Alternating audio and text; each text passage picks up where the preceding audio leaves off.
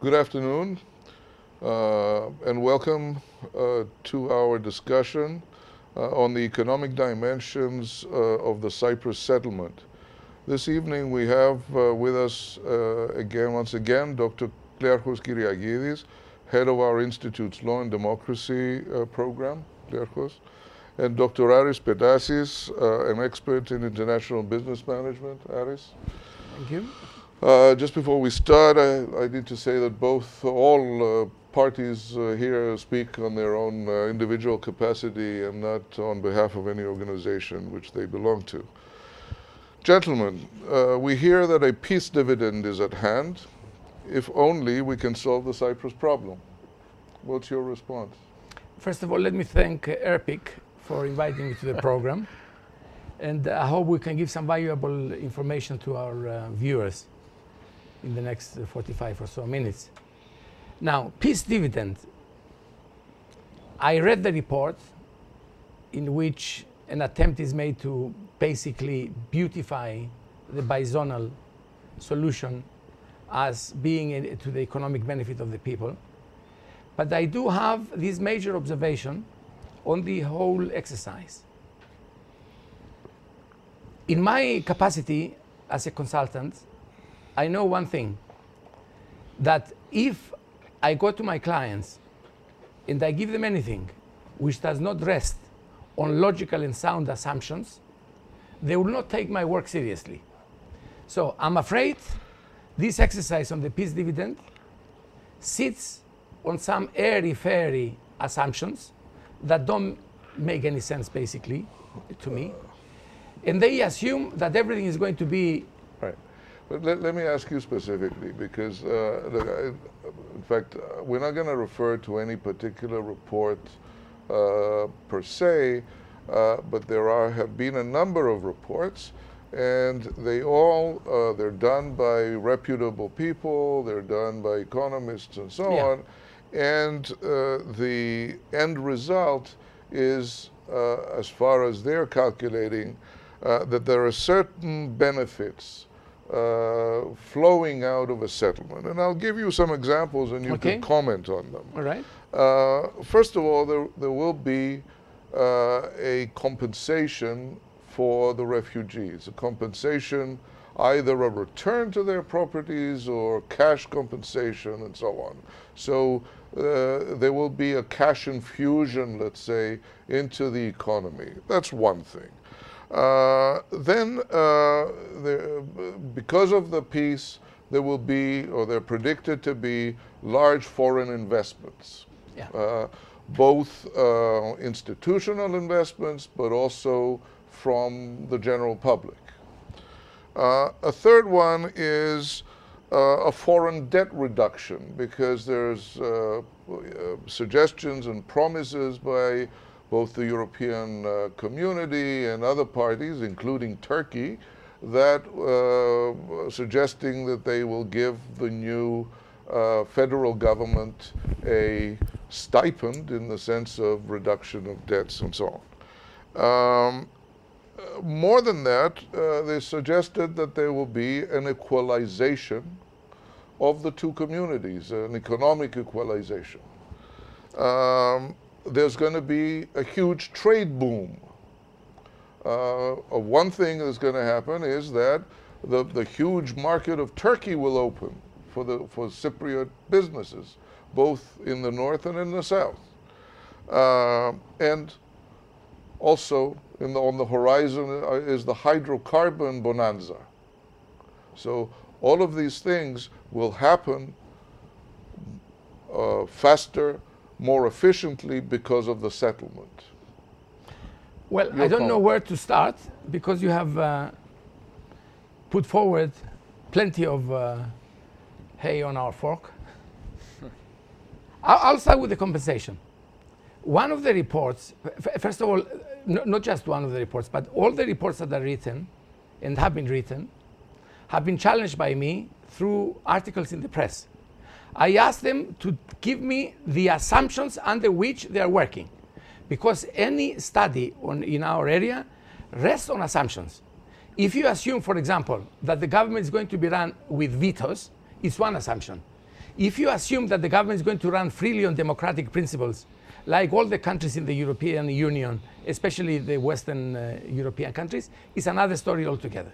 Now, on the compensation, the last study I saw that was um, had. Uh, so, so basically, you're raising the question of whether the political system is going to be efficient and run efficiently or not. And that's one of the qualifications that you put down, right? The qualification is as follows.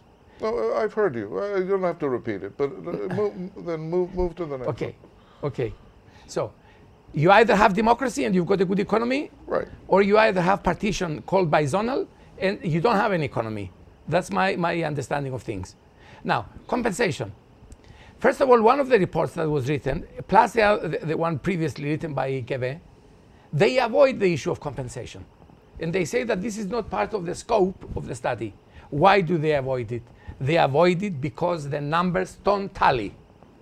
If you take the occupied areas and what uh, the Turkish state, because it's going to be a Turkish state, it's not going to be a Turkish Cypriot state, the Turkish state will have, it will have roughly 3,000 square kilometers of land under its own uh, jurisdiction. Now, if you start compensating, ju just think of 3,000 square kilometers of land and start thinking of compensation of the owners. The moment you get into that, we are talking about 40 or maybe 50 billion euros of compensation.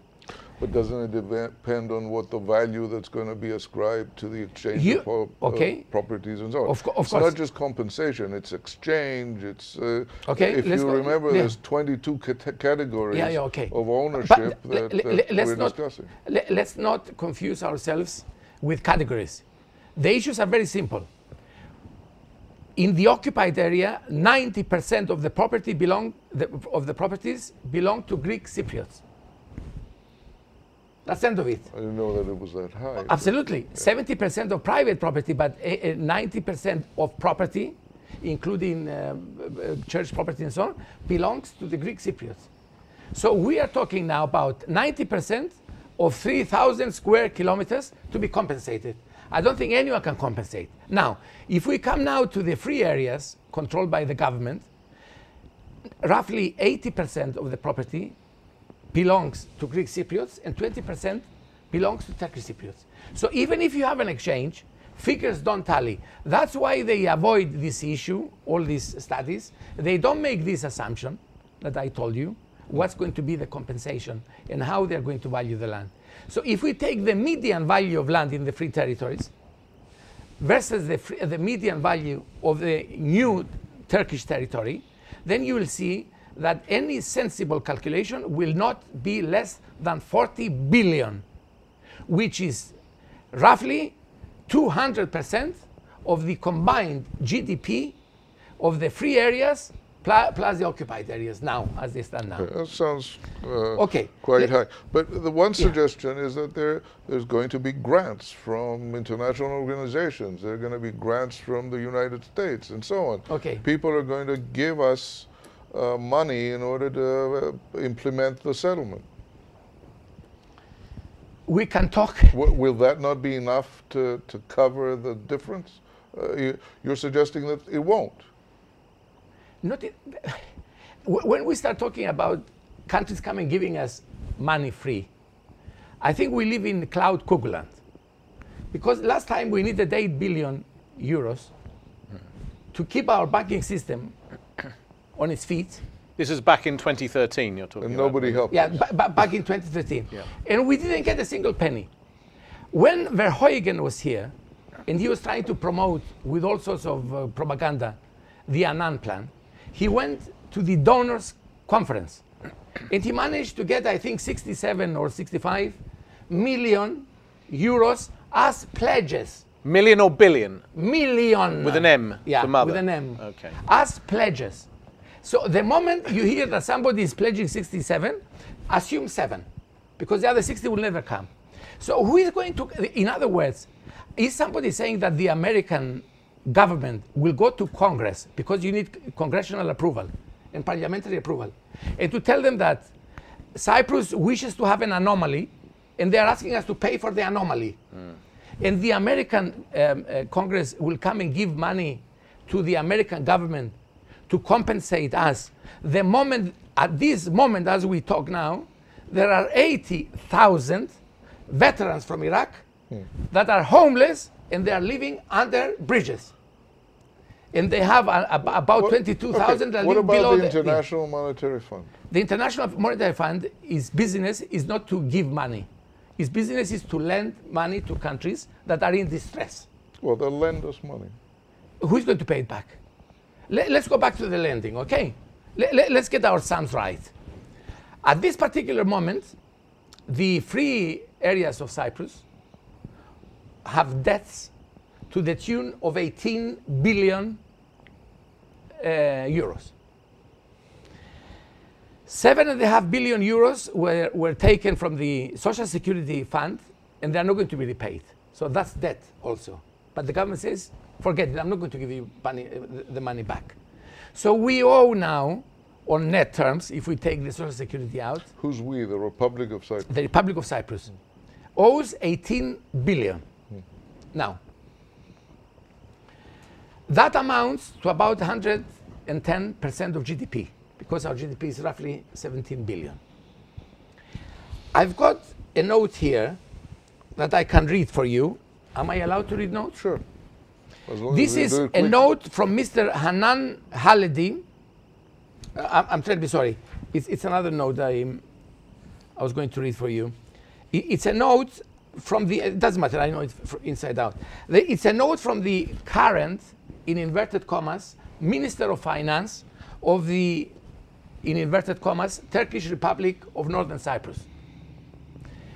In his budget presentation, because they have budgets there also, which of course are subsidized by Turkey, he says that in his calculation, the occupied areas owe Turkey 7.5 billion dollars from loans.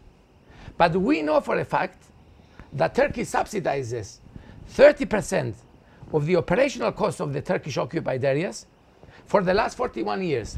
In my calculation, that's 12 billion.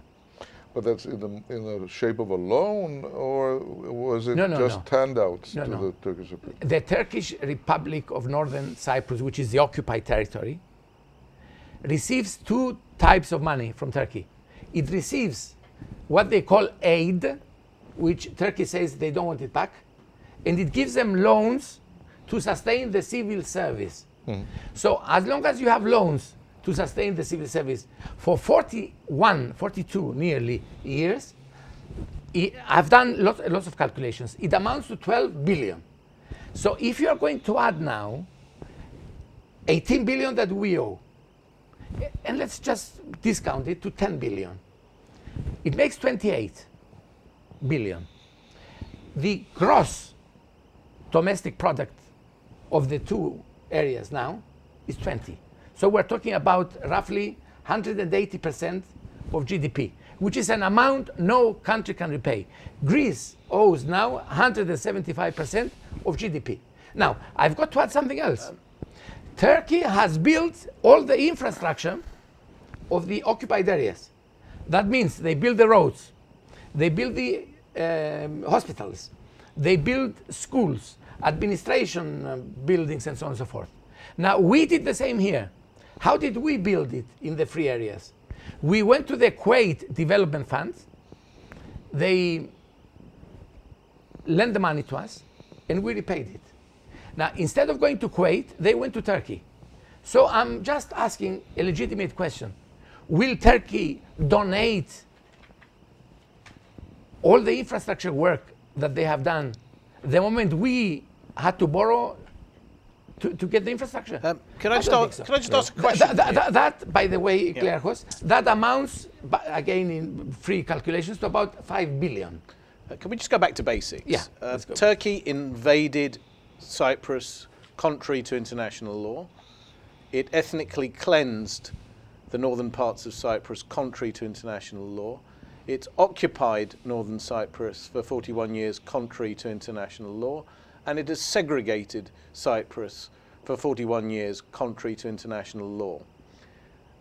Is Turkey going to pay any reparations for breaking international law for 41 years. at no least. one from the Greek, uh, uh, from, the, Cyp- uh, from the Cypriot government, from the Republic of Cyprus, has ever raised the question of reparations. Why not? They have not raised it because they are scared to raise it. And why are they scared to raise it? Because they have so many other issues to deal with that they don't want to, in inverted commas, complicate the issue even more.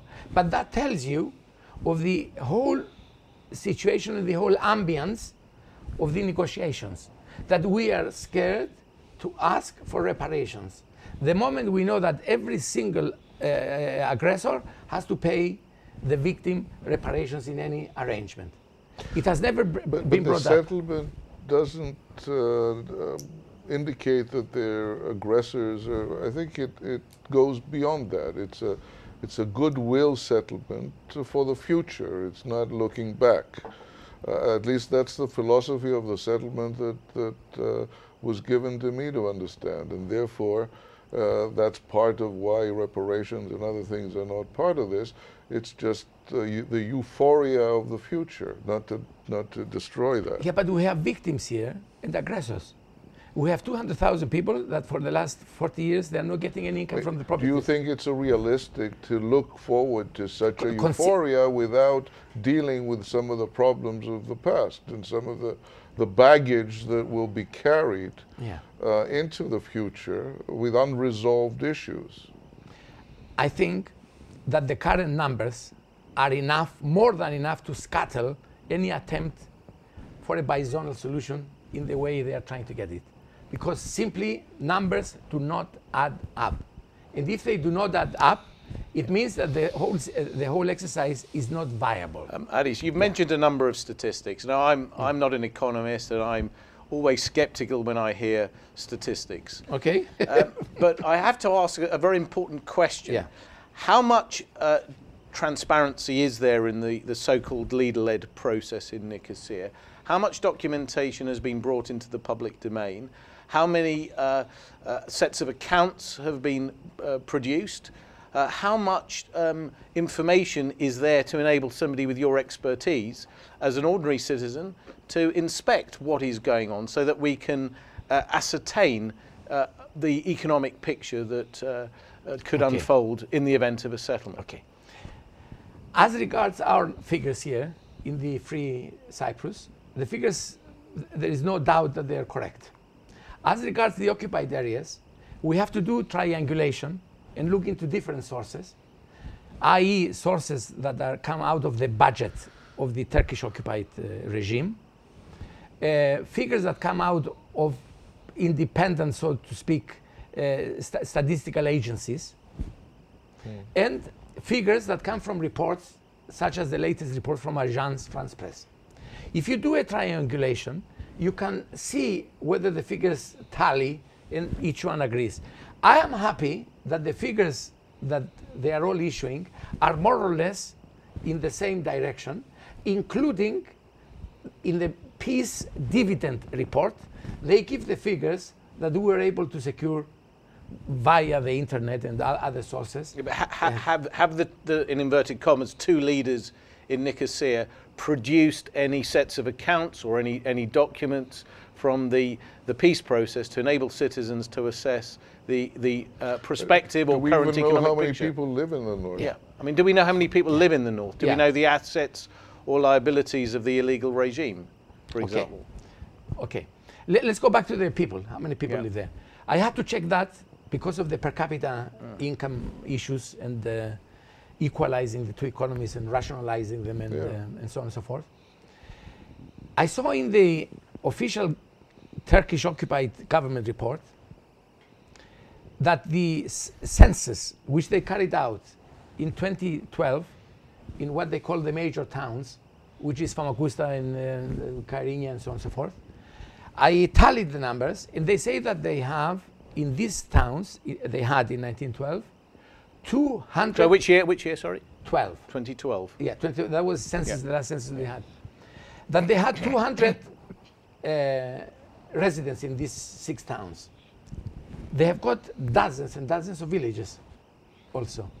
So when the current negotiators came up with the number the other day saying that they will assume that only 200,000 live in the Turkish areas, occupied areas. How do they compare with the official figures that in only six towns, 200,000 I live didn't there? see that. They, they said, they mentioned the figure? Yes, of course. The negotiators? Yes, it was- public. It was made public. Yeah, about the 200,000. But I, I counted 200,000 only in seven towns, what they call towns. So, wha- what about the rest? Who are they, the rest? Agence France Uh, Presse. But part of the negotiation is that a number of settlers will be accepted no, no. as, No, no, no, is no, that, no. because No, I, no, no. I'm, I'm not familiar with No, what no, you're talking about. I'm familiar with that. Yeah. So it doesn't count those. no, no, these are residents, official residents of the occupied areas. Mm, is, uh, in inverted commas, legal residents. okay, j- just excuse me. And also in the statistical analysis that some of the uh, um, independent studies uh, issue, they mentioned the figure of 300,000. Mm. I have not seen any other figure in terms of total being less than 300. Our negotiators keep talking about 200. I think it's all part of the exercise not to frighten people and so on and so forth. Um, c- um, uh, this is important because um, in Davos the other day, Mr. Akinci spoke about the formation of a new partnership. This is Yeah. one of their favourite phrases partnership, a partnership of two communities. Um, in business or in law, um, before you enter into any partnership, you need to conduct proper due diligence measures in accordance with the Latin maxim caveat emptor, let Of the course. buyer beware. So it's very important, in my view, that um, there needs to be full transparency so that the citizens of the Republic of Cyprus know exactly what sort of entity they're going to enter into partnership with. So I, I come back to the, this question of transparency. Uh, how much draft legislation has been published? Do we know, for example, uh, uh, what the draft legisla- what draft legislation is being drafted on matters to do with, say, banking law, financial services law, the structures of economic governance, the regulation of uh, the banks and the financial services industry, uh, the regulation of the insurance industry. I mean, how, how are these massive parts of the economy going to be regulated? And, and has the draft legislation been published? Certainly, it has not been published. Clearly, we live in darkness in the democratic uh, society that we live in, which is the Republic of Cyprus. I understand that uh, the counterpart in, uh, in the occupied areas spent seven hours presenting and explaining to the so called parliament what's going on. And then he went into all sorts of societies and explained the thing. Nothing has been done here on this side. So I mean, they're more we are in the dark transparent in the north than they are in the, The- south. significantly more transparent because they have something good to tell them. But we don't have something good to. I mean, to well, hear. hang on a sec- hang on a second here. So here we are, we are seeing a secret process taking place uh, with a view to the dissolution of the Republic of Cyprus and its replacement with three states a federal state, a Greek Cypriot constituent state, and a Turkish Cypriot constituent state. And there is no transparency as regards the legislation that is being drafted on matters as important as banking, tax, I think financial it's services, a and bit too so on. soon, though, because too in, in, in, uh, in all fairness, uh, they're not talking about legislation at the moment. Uh, they're discussing the general uh, parameters. They're not even. They haven't even begun the process of constitutional drafting. Uh, this is this is. Uh, haggling at the moment and, and uh, you know, making a deal. Uh, the, they're still in the process of making a deal. We need to be fair. They haven't come up with any specific legislation or constitutional provisions or, or anything Uh, like well, And And I think I would expect Yes. now that once uh, the, the haggling is over and once the deal is cut, then they will move into the process of committing the agreement to paper in terms of constitutional provisions, legislation, and so on. And that that, that process then that will be done democratically. Now, that's an open question, though. But when the government says, Sorry, and it's an open question. I'll tell you why. Because ideally, that ideally, but properly, you would have all of that done before you have a referendum, hmm. or at least a lot of it done, at least the skeleton part, so that people understand what, what it's all about, so that they understand the fine print.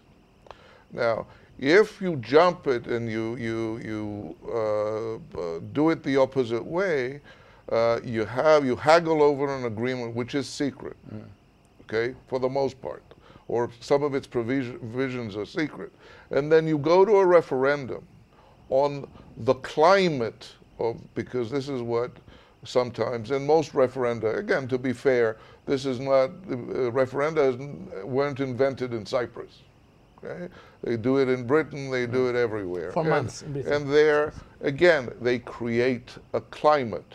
And it's usually the climate of yes or no the positive or the negative climate that carries the day. So, now what does that mean? no, I'm saying that it's important to have these things, but unfortunately, it's the, the suggestion is that it's not going to happen. Well, so if, And can I just can I just ask a naive question?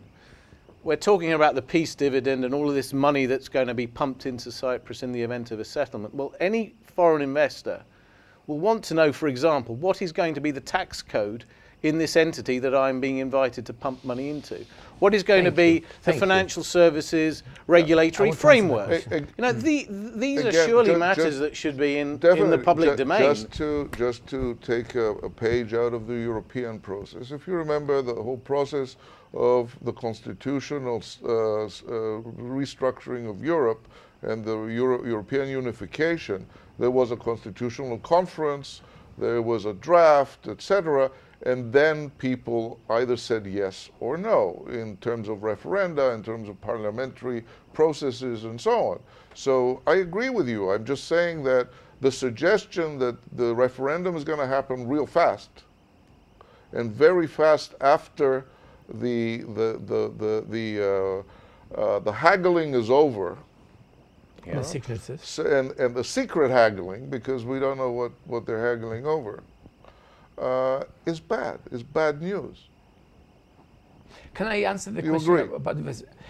Look, I have never seen any person that has good news to hide it. I have seen plenty of people that have terrible news that live in darkness and they keep everybody in darkness. If, if, my, uh, uh, if somebody's uh, daughter were to go out and the parents ask, Where are you going? He said, It's none of your business.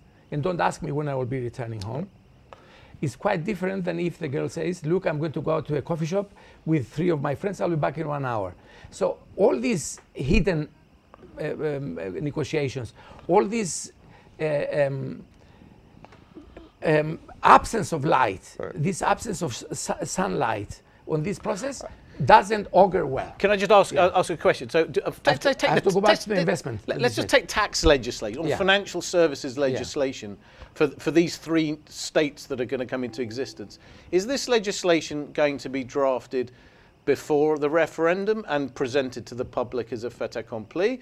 Or will there be a referendum? They'll then create these three new states and then hope for the best and then draft the three, Okay. uh, the three uh, The- sets of legislation. I don't know. But if Annan, the Annan plan, is Yeah. any guide, which was 9,000 pages and was thrown at us, and we were given a couple of weeks to read 9,000 pages, if you give this to any independent, fair minded person and tell him that somebody threw at the common man of Cyprus 9,000 pages that was uh, done in secrecy and asked him to vote, he will tell you that this is suspect. But- and this is what I, but I must answer the question on investment.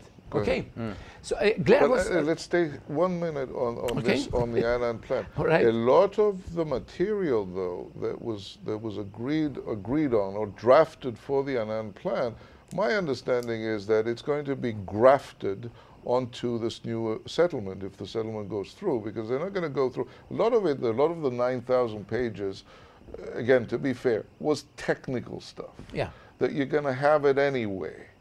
Uh, because it's It's- irrespective. it still needs to be in the public domain. I agree. And subject to line by line scrutiny. I Yeah. agree. I agree. Right, that's that's But but what what I think is is sometimes that we, we bring forward, and I think that's an important thing to think about, is the intentions. If, it, if there are good intentions, and our politicians and our leaders, uh, you have to credit them with good intentions. They're trying to do the good thing or the right thing. So give us the uh, papers and we'll tell you if, the, if we agree. The question, though, is why do they, if they're trying to do the right thing, why so much That's secrecy? The That's the question. Right. Can I? I know you wanted to. Do you want to just say something about yeah, investment? but I have a very important question. Okay. To, uh, should we deal with yeah. a deal with a sure. follow-up question now? Yeah. Okay. To do with the secrecy. Um, I, I don't know what's going on in secret at the moment. All I know is that there's secrecy. If there's a settlement, the likelihood is, I may be wrong, and I hope I'm wrong, but if there's a settlement, the likelihood is that this secrecy we're seeing at present is going to spill over into the new state of affairs. Naturally, uh, yeah. Now, we know from um, history that where you have secrecy, you have corruption, or the increased risk of corruption. Uh, could you maybe comment on the, the, the interlinkage between secretive governance and corruption? And uh, allied to that, the, the, the, the, degree to which this new state of affairs will be exposed to the risk of corruption. Okay. Let me go first back to the investment. Okay. Christodoulos raised a question at the very beginning of the exercise, saying that plenty of investments will uh, be pouring into Cyprus and so on and so forth. I presume we're talking about international investors. The only system that looks like the one that they're trying to, to market in this country is the Bosnian constitution. So Bosnia can be a fantastic reference as regards what we call foreign direct investment, which is the figure of money coming in, but not including deposits and financial things because that's not investment, it's just deposit in the bank. Bosnia, in the last 10 years, on average, had FDI of 200 million. That's the cost of an expensive building and nothing more, nothing less. Cyprus, that is still operating as a republic, had half a billion, i.e., 500 million in the last year. So I'm saying, in my mind, you know, they're very uh, shrewd and very cunning international investors. There are 195 countries in the world now that a businessman can invest. So I'm asking the question this shrewd businessman that relies on statistics and data and political risk and country risk and so on and so forth, when he has some money to invest, will he go into a country that will be run with vetoes, that will be partitioned, that will have two ministers deciding, it will have two presidents? Three, three ministers. Three, three ministers three. deciding, precisely. It will have three uh, internal affairs ministers, and so on and so forth. It will have about, um, we have 45 municipalities and they have 29. So if you add them, we're talking about 80 municipalities for a population of 1 million roughly. The moment sh Greater Chicago is about 8 million, they have one municipality. So wh uh, who is going to come in his right mind to invest money in a deadlocked economy where you will have vetoes? Can I, can I if somebody tells me that yeah the vetoes are there, but they will not be exercised. I say thank you very much. If they are not going to be exercised, let's not put them into the agreement. The vetoes are there because they are intended to be exercised. Can, just, just, to, yeah. just, just to clarify, yeah. so everyone understands, yeah. uh, if, if, again, if the Annan plan is any guide, uh, we'll have um, depending on how you calculate it, four or five levels of government in, in an island with a population of no more than one million or so. You'll have the uh, three branches of government in the Greek Cypriot constituent state, the three branches of government in the Turkish Cypriot constituent state, the three branches of government in the federal state. You'll have the three, the, the three sets of public sectors across the three states. You'll have the, the organs of government in the two uh, British sovereign base areas. And underneath all of this, you'll have municipal governance. So this is yeah, a recipe 80 for of them, 75 of them. Uh, I was going to. Uh, I'll yeah. come back to corruption later, but this is a bloated uh, state of affairs in the making. Who's going to pay for it, and how much is it going to cost? But I'm saying now, talking of investment, who is going to come into a country that has to you. sustain through taxations? Right. You know, Adi, h- h- how much is it going to cost to pay for these structures? Leave the British out for the moment. H- How much is it going to cost to operate three public sectors? And who's going to pay for it? I think that more important than the cost is the dysfunctionality. Okay. which is more than the cost. Because if now Cyprus rates 110th, I think, out of 164, 66 countries, in terms of uh, ease to do business and to get, get through things. Let me give you an example. The other day, a foreign investor came and he said that if you give me state land to the tune of 450 acres, I'm going to invest 2 billion or whatever he said in Cyprus. Okay, let's assume now that we have a bizonal solution with uh, upteenth governments and semi-governments and uh, extensions of governments. And this same foreign investment comes and says, look, I'm going to, to invest $2 billion and I want the government to give me 450. Let me tell you what's going to happen. The first thing that will happen is that the occupied area, which would, will then become the Turkish uh, state, will say, no, we're not going to allow you to get land as long as you are going to get it there in the, uh, in the Greek uh, sector. We won't allow you, we'll veto it. If you want to build a project of 2 billion, you better come and build it on our side. Otherwise, we'll not give you a permit Okay. to do that because we can veto it. But, but look, Yeah. I think we're, we're overstepping it a little bit because decisions of this type uh, may be made, and I, from what I understand, will be able to be made by the two separate states. Uh, and therefore, in answer to your question, This is to- land. uh, there is no state land no, in no, the no, states. no, no. I'm telling. I'm, I'm saying in terms of investment, let's say of building uh, uh, property on uh, on private land. Okay, This is not not private land. This is state land. No, no, no, we- we- 450 Yes, acres I'm not talking state about this case. I'm giving you a practical case Yeah, that fine, happened Fine, yesterday. but I'm, I, I don't know about this case. Now, I'm, I'm suggesting to you that one of the countries that will invest and people will invest will be Turkey. Mm. Naturally. Turkey has proven that it wants to invest and has invested very heavily in the north. It will continue to do so. Absolutely. Now, uh, another side to the three governments and how many other municipalities, the, the EU regulations will still be accepted by the federal government and, and uh, define uh, the activities of the federal government, but also of the two state uh, governments. So that's another positive issue. Uh, again, why would somebody come to invest? Because with the peaceful um, uh, resolution of the disputes in in, uh, in the region, uh, Cyprus can uh, have good relations with Turkey. It can, uh, you know, uh, doors will be open. At least this is Whose doors will be open? Our doors or Cer- Turkey's certain- doors? Well, that's that's for you to tell us because this is what I, I'm just repeating. Okay. Some of the um, some of the suggestions that are put forward that should be convincing and are convincing a lot of people. Now, uh, are they are they wrong? Are they misled and so and so on?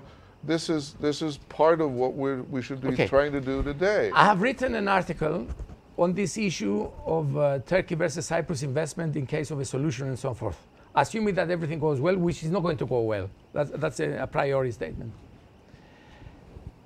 Turkey's minimum wage now stands at 424 euros. Cyprus's minimum wage stands at 942 euros. So there is a difference of 500 euros in the minimum wage. I give you the minimum wage because the minimum wage is indicative of many things. So I'm asking, who is going to export to whom? Is the country with the minimum wage of 400 going to be more expensive than the country with 925 or 24 or the opposite? What I'm assuming is that Turkey will inundate the market here and will knock out anyone that has to do with clothing, with uh, shoes, with whatever it is that can be produced, mass pro- production of consumer goods. Now, let's go to agriculture. Turkey has piped in water, which they are not sharing yet Right. because of money considerations. And Turkey, Turkey's um, exports in agricultural products, if I remember well, is roughly 50 billion of agricultural products. Turkey is a powerhouse in agriculture. So, are we going to be able to compete with Turkish agricultural products the moment our cost of production is twice or three times the cost of production of Turkey? The answer is no. So we're going to become net importers. Agriculture requires three things cheap water, which Turkey has and we don't have, cheap labor, which Turkey has and we don't have, and lots of land, cheap land, which we don't have and Turkey has. So, two industries now manufacturing and agriculture will be wiped out the next morning. So, all these stories about opening up the Turkish market is all propaganda. I remember this uh, um, example I'll give you now so clearly that when China opened up about two, 25 years ago, somebody who was manufacturing uh, clothes in Cyprus, he came to me and he said that we have good news for Cyprus. China's market is being open, he said. And I expect one of every 100 Chinese to be wearing a Cypriot shirt. So I told him that I suspect that every other Cypriot will be wearing a made in China shirt. So 25 years later, we don't have a single shirt exported to China because it's cheaper there to produce. And we are all wearing made in China shirts, except the aristocrats So, uh, Cyprus. so are, are, are you suggesting that if there is, in inverted commas, a peace dividend, that Turkey We'll will be the primary beneficiary? Of course. Okay. I mean, it, it, it's, it's another argument that they, they threw out, which is really laughable, is saying that um, we are going to export, and uh, um, rather uh, import, export, whatever, tourists, and we're going to get a, a, a um, an exchange of tourists from Turkey. I think that's ludicrous, because a tourist that will decide between Cyprus and Turkey with and then spend one day between his holidays visiting the other country is going to go to the big country and spend 15 days and maybe take a boat and come and have lunch in Cyprus for a day. So therefore, even the tourists that we're getting are more likely to go to Turkey because you, they don't have to spend 15 days to see Cyprus. They can see Cyprus over a couple of days. But if they go to Turkey, they need months before they can see Turkey. So they have a better product. They have cheaper services. They have better packages. so I'm, I'm just saying, if, if it's open, as, they say, the, the tourism uh, flow, will it be in the direction of Turkey or here? Uh, can, I, can I just, uh, as we're discussing Turkey, uh, I, I mentioned corruption earlier. I want Yeah. to uh, maybe come back to this. I, I, have in, I have in front of me here the Transparency International uh, overview of corruption and anti corruption in Turkey, uh, published in the year 2014. And, and among other things, Transparency International reports that Turkey faces high levels of corruption. Of course. Accordingly, the government has taken steps to reduce corruption in the country. However, despite limited uh, progress, the country continues to be confronted with challenges of rampant corruption, and existing anti corruption measures are still in question.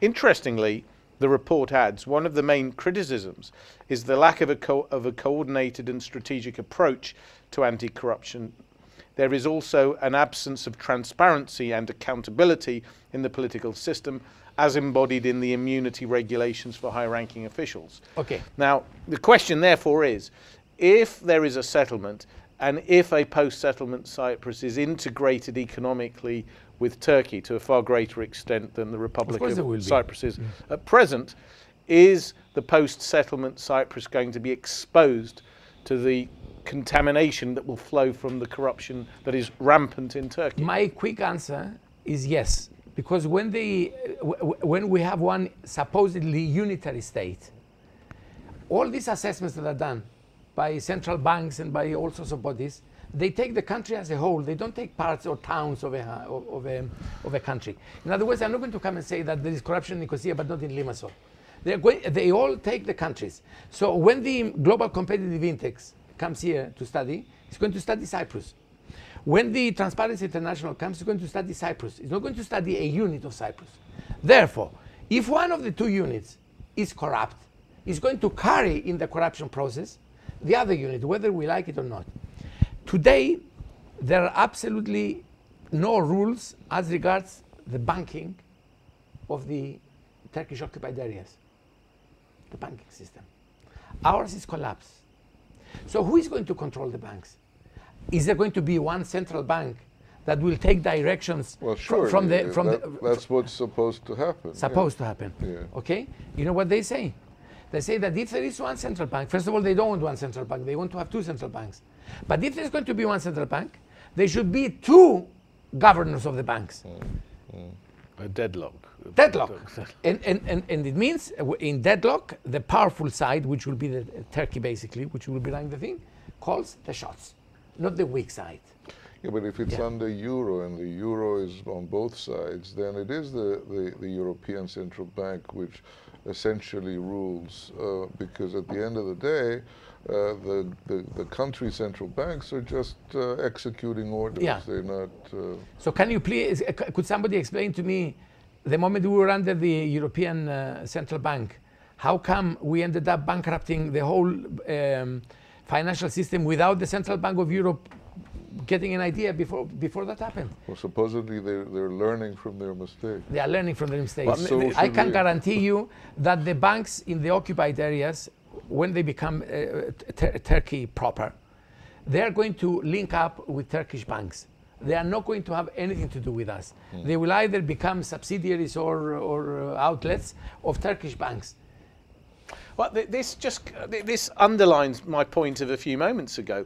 We need to have the draft constitutional and legislative instruments in the public domain so we can see how the banks are going to be regulated, how they're going to be uh, overseen, how they're going, how, how, how the financial services authorities are going to function, how the ombudsman are going to function.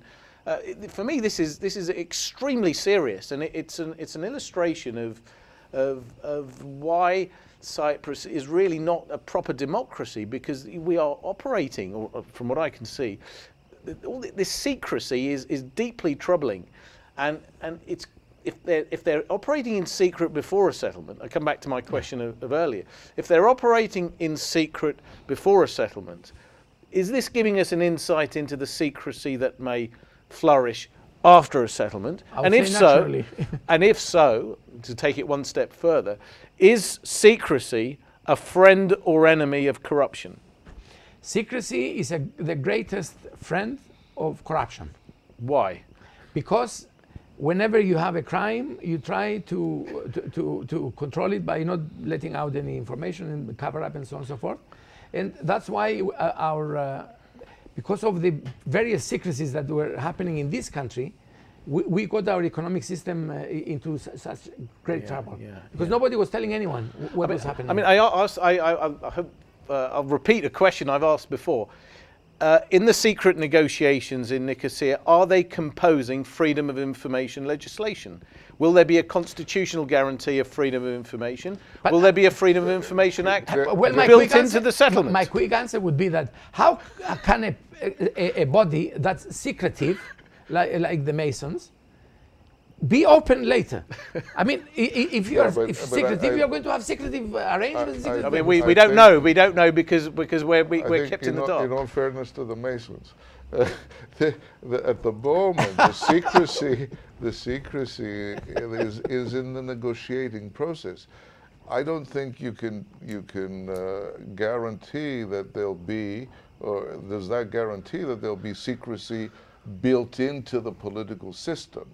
Uh, I think that's, that's a bridge too far. I think for us to make that Uh, conclusion. Totally. But well, we do. We Only one side is secretive. The other is not secretive. Well, there the you other, go. The other side Therefore- shares therefore- shares with its constituents the- the- everything that's the- happening I mean, here. the, can I just can I just say the Yeah. the the, uh, the key, one of the keys. In fact, if you just have a look at the the um, uh, Transparency International list of corrupt uh, or perceived corrupt regimes, right at the bottom is North Korea, which is the most secretive society on earth. Towards the top, I think it's in fourth position is Sweden. Sweden has, unless I'm mistaken, the oldest freedom of information legislation Naturally, in the world. yeah. So it's a simple equation: uh, transparency equals less corruption, secrecy equals more corruption. I, I ask Mr. Ryder and Mr. Akinci and Mr. Anastasiades to make a statement tomorrow or next week clarifying whether or not there's going to be a constitutional guarantee of freedom of information built into the Constitution, and if not, is there going to be a Freedom of Information Act governing all three states? Or, uh, to put it another way, will there be three Freedom of Information Acts? W- That, for me, is going to be the key to whether or not there's going to be transparency in the new state of affairs. But certainly, uh, the, the Turkish Cypriots will guarantee, since they're more uh, transparent and democratic than, than Well, the, than the Greeks that's what are, our there- history there's says. certainly a guarantee that that would happen. Uh, I'm just Of joking. course. We'll. They- I'm they- just joking. Uh, Now, of- uh, they are free we- with the information need- because they have good news to Yeah. tell their people. Uh, our, our side is not free with information because they have horrible news Let, to let tell me the people. switch tack for a second because we're running out of time. Margaret Thatcher said that the only peace dividend is peace. Yeah. Now, even if you uh, take away all the possibilities of economic benefit and all of that, isn't it enough that we're going to have peace? Isn't that good enough to have a settlement? You can have peace in many ways. You can be subjugated and have peace. You can come under the control of a foreign aggressor and have peace if you if you're silent. You can separate the country into two entities and keep quiet the moment the country doesn't work, and you can have peace. And you can have peace under democratic, liberal democracy. So if we have peace in the way that Sweden has peace, the way that um, uh, Norway has peace, the way that England has peace, and so on and so forth, yes. But if we are going to have peace because we are going to sign a surrender is- instrument mm. Mm. where we deliver lock, stock, and barrel the Republic of Cyprus and all the rights of the, of, of the people that have been here for the last three and a half thousand years, then thank you very much. I don't want that kind of peace. And especially, I guess you would agree, we shouldn't trade freedoms for economic benefits Naturally, that are never going to come. Can I, can I just come in here? Because there are two very important points I want, I want to just make. Firstly, you mentioned freedom.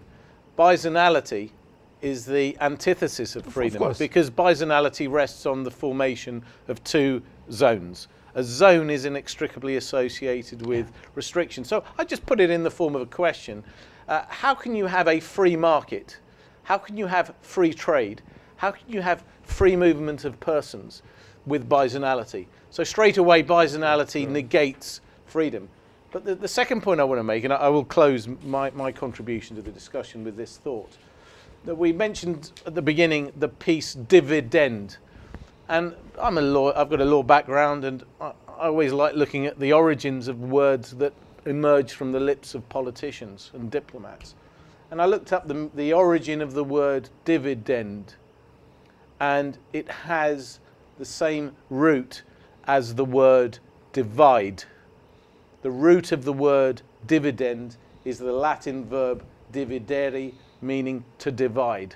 And that for me encapsulates what is philosophically wrong with bicommunal, bizonal federation. It's an instrument of division, and the peace dividend, if there is one, will result in the division of money, and that will produce deadlock. I, I- think it, it's meant In in, my the view. sense of, of share, as in share a dividend. But uh, coming to share, sharing, Yeah. uh, we haven't mentioned the hydrocarbon Yeah. issue.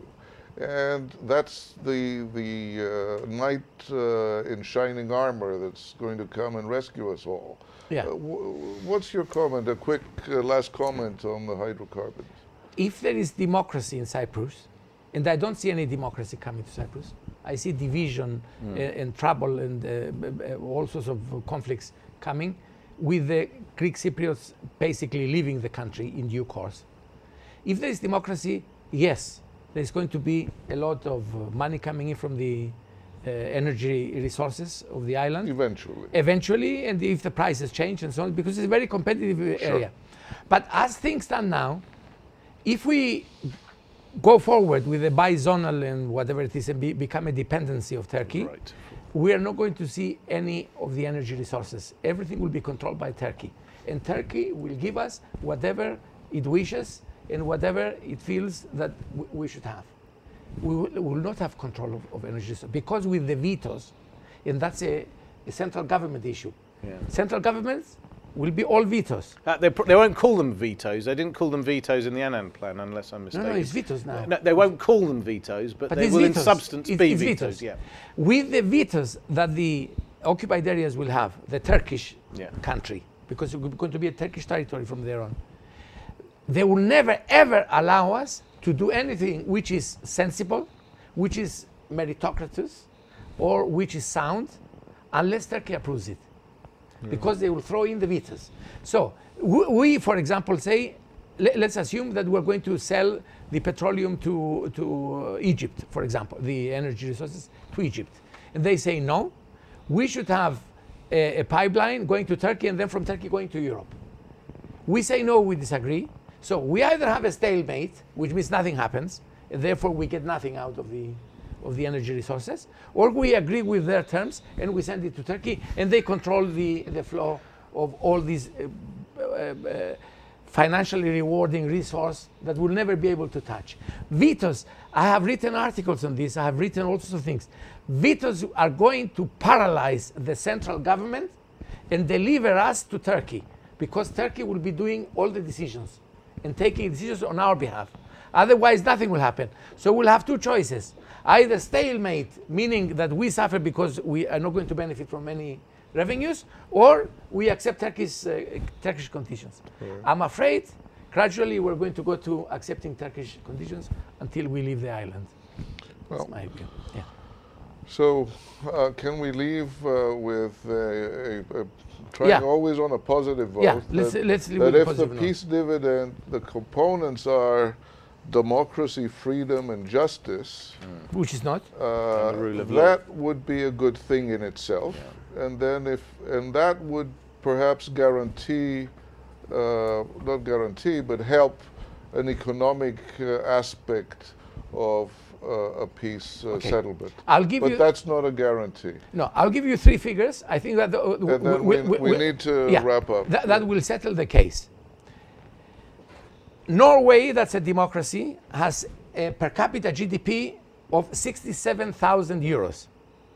Bosnia, that's another Cyprus revisited, has four because they have bizonality. Right. Lebanon, that's run on vetoes, has nine. And Norway, that's a democracy. And Denmark and the US and Sweden, etc., they have about 60,000.